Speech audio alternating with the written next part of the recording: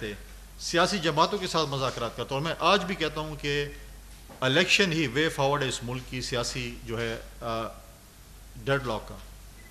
और अगर इमरान खान साहब पार्लियामेंट में रह के सियासी जमातों के साथ डायलॉग करते तो उनको शायद वे फॉरवर्ड नज़र आता। लेकिन उन्होंने हमेशा कभी एक इदारे से मदद तलब की, कभी दूसरे से की। अब अमेरिकन के पाँव पड़ गए। पहले तो ये कह रहे थे कि साइफर है, अमेरिकन साजिश है, फलां है ढिंग है।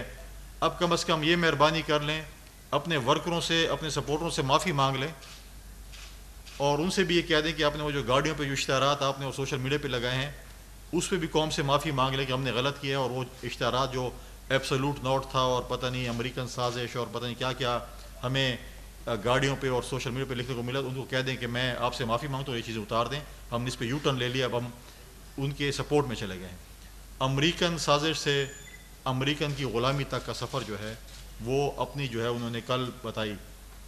और जिस तरीके से उन्होंने बातें की, कुछ अर्सा पहले उन्होंने यही बात मियाँ नवाज़ शरीफ साहब के मुतल की थी कि जी वो जाते हैं, अपने इदारों के ख़िलाफ़ बातें करते हैं, पाकिस्तान के ख़िलाफ़ बातें करते हैं और अमेरिका से आकर जो है मदद तलब करते हैं और प्रेशर डालते हैं इदारों पर और ये जो है मुल्क के साथ दुश्मनी कर रहे हैं।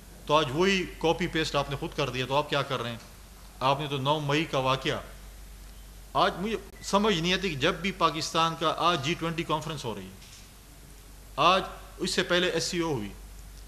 इससे पहले काफ़ी हमारे सफारती मास पर हमें जो पॉजिटिव चीज़ें हमारे साथ हुई, हमेशा इसको सबोताज करने के लिए इमरान खान साहब कुछ ना कुछ कर रहे होते हैं ताकि पाकिस्तान का नाम रोशन हो। इस दुनिया की एक बदकिस्मती है, मैं समझता हूँ। इस दुनिया की बदकिस्मती है कि पाकिस्तान में इमरान खान साहब को मुसलत कर दिया गया, इंडिया में मोदी को मुसलत कर दिया गया, अमेरिका में जो है वो ट्रंप को मुसलत कर दिया गया।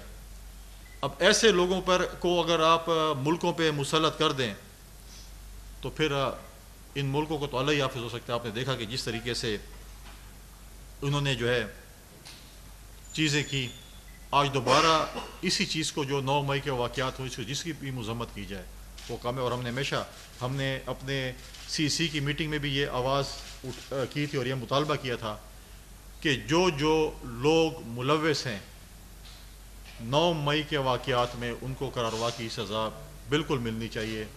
आप देखें कि जिस तरीके से लाहौर के वाक़ात हुए पिशावर में मुख्तलिफ़ जगहों पर मैं आ, कुछ शायद मीडिया को उस पर वो नहीं हुआ जो कि पिशावर के रेडियो स्टेशन के अलावा जो दीर में एफसी का जो किला था उसको जो है वो आ, जलाया गया। उसके साथ जो है अगर आप देखें कि बालामठ के एक छावनी है उसको भी जो है नुकसान दिया गया। उसके साथ स्कूल था उसको भी नुकसान दिया बल्कि वहाँ पर पाकिस्तान का झंडा उतार कर और पीटीआई का झंडा लगा दिया। तो ये क्या मैसेज आप मुल्क को दे रहे थे? हम तो वो पार्टी के मोहतरमा शहीद ने कहा था कि शुरुआत में हम जाकर पाकिस्तान का झंडा लहराएँगे। मिलिटेंट्स जो है, शुरुआत में पाकिस्तान का झंडा नहीं छोड़ रहे। आज आप वही चीज़ दोबारा कर रहे हैं कि आपने जाकर वहाँ पर पाकिस्तान का झंडा लहरा आज आपके लीडरान आज आपके जो है, हर कोई कह रहे हैं, हम इसमें मुलविस नहीं हैं।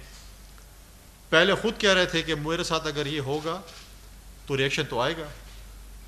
फिर आप कहते हैं कि जी हम इनकी गैबा नमाज़ जनाजा भी पढ़ेंगे। आपने ओन किया उन चीज़ों को, आपकी लीडरशिप ने ओन किया चीज़ों को, इस पे मैं समझता हूँ कि ज़ीरो परसेंट टॉलरेंस है। और आपने देखा कि आपने सोशल मीडिया पे भी और मीडिया के ज़रिए भी देखा कि पाकिस्तान की आवाम ने जो यकजहती अपने आर्म फोर्सेस के साथ की, हम अपने सिपाहियों के साथ जो हमारे इस वक्त बॉर्डर पे खड़े हैं, हमारे पाकिस्तान का तहफ़ कर रहे हैं, आज भी अगर आप देखें, आज भी मैं टी वी पे देख रहा था कि तीन हमारे नौजवान शहीद हुए, रोज़ाना की बेस पे हमारे फ़ौजी जवान, पुलिस जो इस मुल्क की हिफाजत सरहदों की हिफाजत करते हैं, चौकियों पे इधर खड़े पाकिस्तान के अंदर, जो हमारी हिफाजत कर रहे हैं, उनके साथ जो है जो मिलिटेंट्स के साथ वो लड़ रहे हैं, हमें चाहिए कि हम उनको सपोर्ट करते ना कि हम उनको डिमोरलाइज कर दें। तो ये चीज़ें जो है, ये चीज़ें थी जो मैं आपके साथ डिस्कस करना चाहता था। पाकिस्तान पीपल्स पार्टी का मौक़ आपके पास पेश को सामने पेश करना चाहता था। और साथ साथ जो है, बिलावल भुटो जरदारी साहब का जो विज़िट था कश्मीर का उसके मुतल जी थैंक यू कोई सवाल?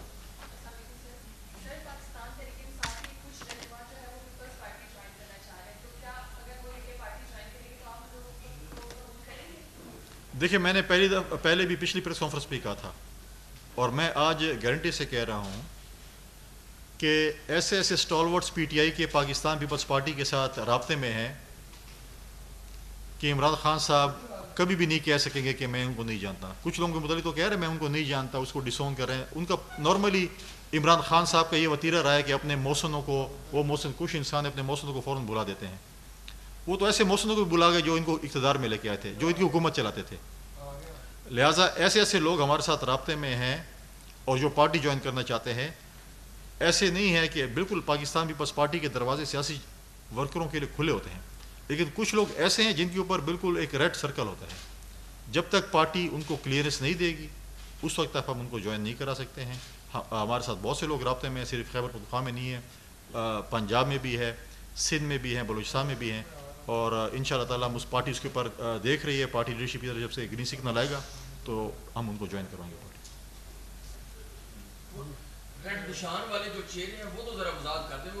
तो आप भी शहर में और हम भी इस शहर में आपको पता है कि रेड चेहरे रेड सर्कल किस पे हो सकता है? लेकिन जिन जिन लोग जिन लोगों ने जिन जिन लोगों ने हमारे ऐसे इमलाक को जो कि फ़ौजी तनसीबात थी हमारे स्टेट के ख़िलाफ़ कोई अगर ऐसी की काम की हो वो तो बिल्कुल ही रेड सर्कल है।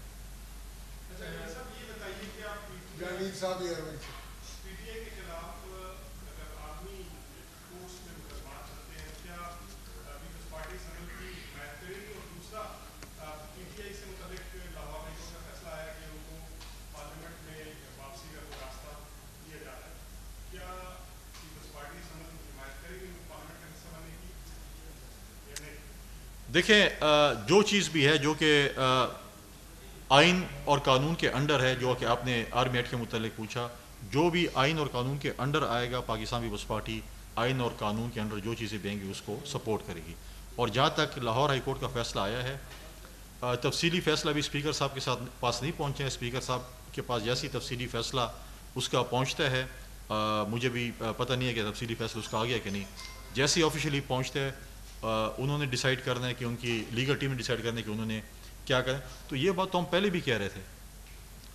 मतलब साल पहले ही बात कर रहे थे ना, हम यहाँ पे बैठ के कि आप लोगों ने अगर इस्तीफे देने स्पीकर साहब की अदालत में पेश हों तो ये लोग कहते थे कि इसकी अदालत में हम क्यों पेश हों, हम इसको मानते भी नहीं है। आज पार्लियामेंट में फॉर एग्ज़ाम्पल अगर गए आज पार्लियामेंट में जाने के लिए तो परवेज अशरफ की अदालत में पेश होंगे। अब वो ठीक है, लेकिन वोट एवर पोलिटिकल लोग हैं।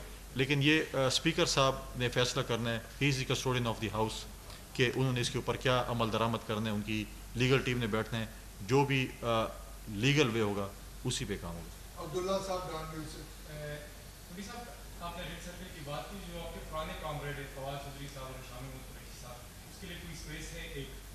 दूसरा ये कि आप लोग का ये दावा था कि इस्टेब्लिशमेंट इमरान खान को सेलेक्ट करके तो इमरान खान को तो दिमाग के ज़रिए निकाला गया। लेकिन जो साजिद संजरानी साहब है, जिसके वजिंजू साहब जिसके पास छत्तीस वोट थे और अपोजिशन के पास उस वक्त सिक्सटी फोर वोट थे तो वो अभी तक आप लोग क्यों बड़ी बना हुआ है? उसके खिलाफ कोई तहरीक अभी तक क्यों नहीं है? देखिए, जो रेड सर्कल है तो आप दो बंदों का केस लड़ रहे हैं। बहुत से लोग हैं जो कि मतलब है कि इसी किस्म के बहुत से लोग हैं जो रबतों में हैं। तो पार्टी लीडरशिप ने डिसाइड करना है। मैं मैं अथॉरिटी नहीं हूँ, पार्टी लीडरशिप ने डिसाइड करना है कि क्या करना है। लेकिन मुझे लगता है अब जो जो दोनों का नाम लिया मुझे नहीं लगता कि उनका मेरा ज़ाती ख्याल है कोई उनका कोई वहाँ पर जो है कोई खुश आमदेद कहने वाला कोई होगा। और जहाँ तक चेयरमैन सेनेट के हमारा जमहूरी हक है कि हम उसके ऊपर बात करें आ, पार्टी जब भी फैसला करती है इन आपकी ख्वाहिशात की तकमील करेंगे। Thank you sir thank you